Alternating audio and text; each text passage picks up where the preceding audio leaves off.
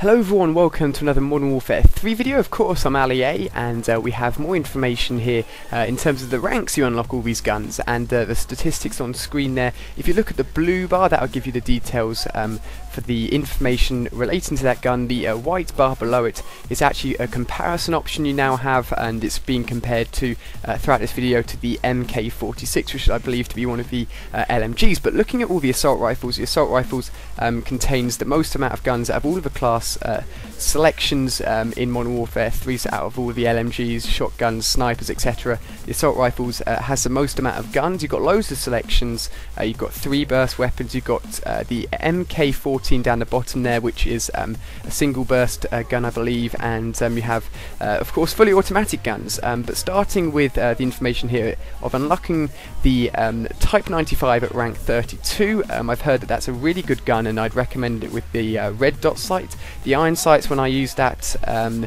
earlier on in the year when I played Modern Warfare 3 uh, before its release, I didn't feel too nice. I definitely recommend the red dot sight on that as well. but here you can have an idea of what ranks you're going to be aiming for when the game comes out on Tuesday, uh, so you know what's going to be happening, how high you need to be aiming for certain guns, um, which guns are going to be getting early. The Scar L you get really early on, and that has a far bigger magazine clip than it did in Modern Warfare 2, and that's one probably its only downside uh, really in Modern Warfare 2. So that gun is still very very good. Um, but here we go, this is all the guns that are contained uh, in the Assault class uh, in Modern Warfare 3 multiplayer. I'll be covering all the other classes uh, this weekend as well, so you can have all that information for you, along with lots more videos as well. So thank you so much for watching guys, and I look forward to seeing you in my next video.